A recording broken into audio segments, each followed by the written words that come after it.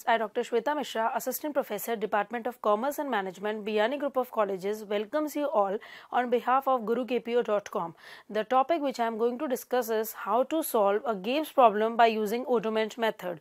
Now, the first condition to use Oddoment method is that your matrix must be in 2 into 2 form. That is, there must be 2 row element and there must be two column element. So in our question the matrix is in 2 into 2 form.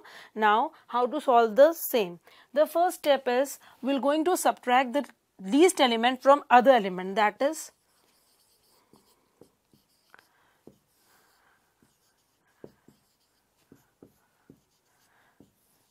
that is 2 minus minus 1 3 minus minus 2 in the same manner we will subtract the least element from another least element.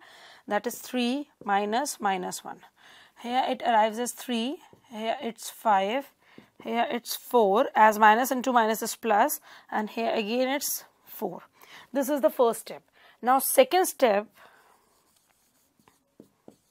is to interchange the values. That is 2 minus 2 minus 1 3 I am uh, interchanging the values here 5 and 3 again.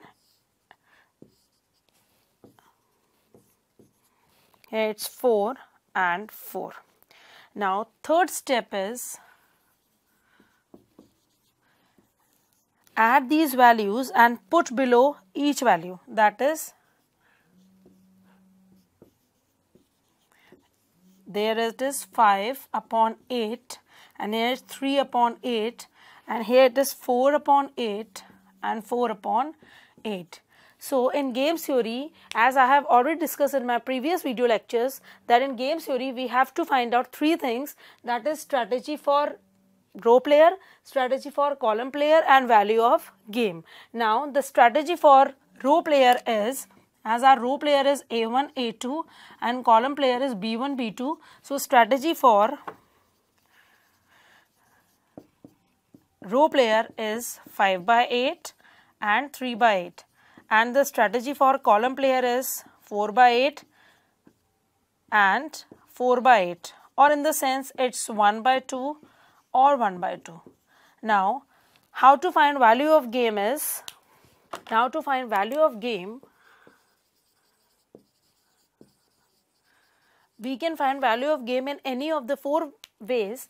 That is by multiplying 5 by 8 into 2 plus 3 by 8 into minus 2 or 5 by 8 into minus 1 or 3 by 8 into 3 that is 5 by 8 into 2 plus 3 by 8 into minus 2 or 5 by 8 into minus 1 or 3 by 8 into 3 or 4, 4 by 8 into 2 plus minus 1 into 4 by 8 or 4 by 8 into minus 2 plus 4 by 8 into 3.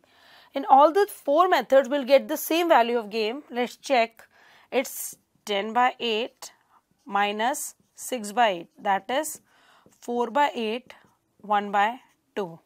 Again it's minus 5 by 8 plus 9 by 8 that is 4 by 8 1 by 2.